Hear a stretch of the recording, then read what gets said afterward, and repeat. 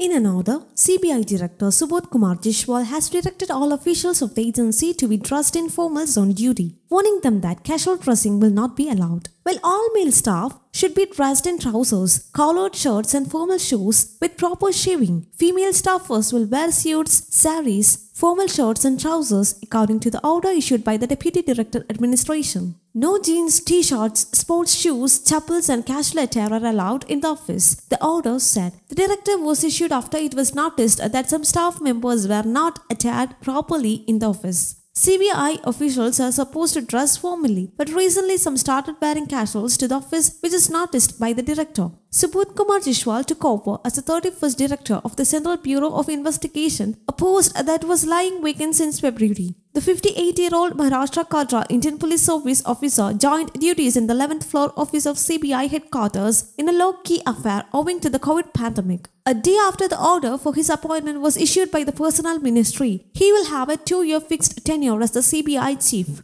A former DGP of Maharashtra, Jaiswal, had reportedly sought a central deputation last year after differences cropped up with the ruling Maharashtra Vikas Aghadi government in the state over the transfers and postings of police officers. News Desk Kaumudy, English.